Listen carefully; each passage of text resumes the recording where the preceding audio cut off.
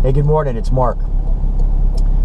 Thinking more about the impact, the looming impact, the looming horrible impact of this whole notion of uh, fair market value and compensation and how it is going to gut physician income. I do mean gut physician income.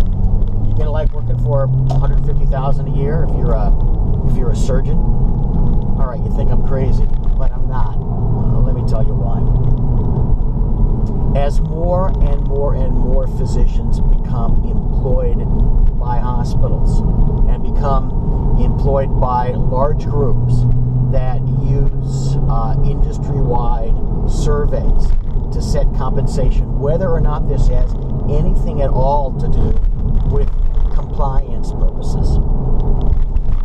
You're going to see more and more references to things like the 50th percentile of, I don't know, uh, uh, ENT compensation in the uh, central region of the United States.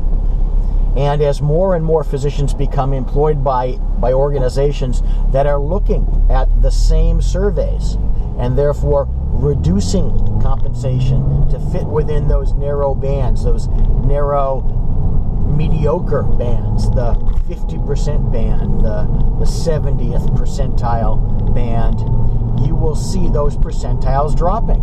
I mean, right now, you have some outliers. You have some high outliers. Sure, you have some low ones, but you've got a lot more high ones. And what happens is those high ones will be brought down to the median, brought down to the median as the median goes lower and lower and lower. Well, if you don't like that future, you have to do several things. Number one, you have to push back against the way compensation is applied to you.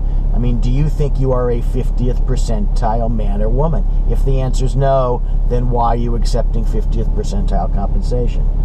Uh, number two, you have to push back uh, against the use of surveys.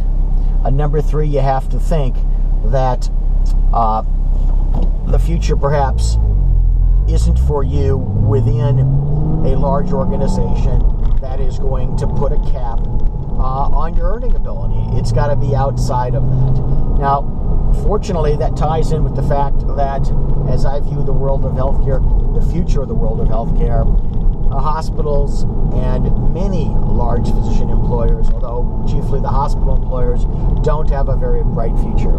Go to the website, uh, get a free download uh, most recent book, The Impending Death of Hospitals, and found out find out why. So, have a good day at work.